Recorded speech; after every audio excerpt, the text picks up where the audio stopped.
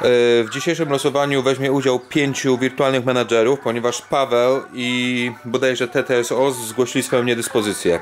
A zatem w tej tutaj oto, nie wiem, czarce znajduje się pięć pomarańczy i Martin za chwilę wylosuje menadżera, który poprowadzi jako pierwszy y, Napoli w kolejnym sezonie. Meksykaniec, zajęty jesteś? Widzę, że, widzę, że jesteś zajęty, widzę, że jesteś zajęty. Daj to ci oranż jeden. Daj oranż tatce, proszę. Pokaż. Co tam wybrałeś? Eee, popatrzmy, popatrzmy, popatrzmy, popatrzmy, popatrzmy, popatrzmy, kto to jest?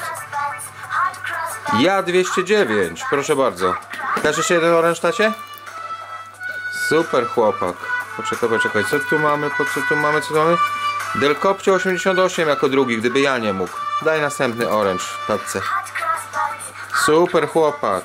Kurde, ciężko mi się filmuje tu samemu to. Kto jako trzeci będzie? Poczekaj, poczekaj, poczekaj, poczekaj, poczekaj, poczekaj, poczekaj, poczekaj chwilę.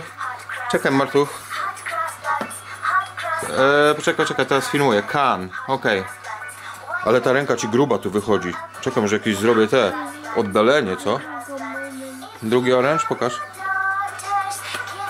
Kto tam, kto tam jest, kto tam jest? Poczekaj, poczekaj, poczekaj, poczekaj, poczekaj.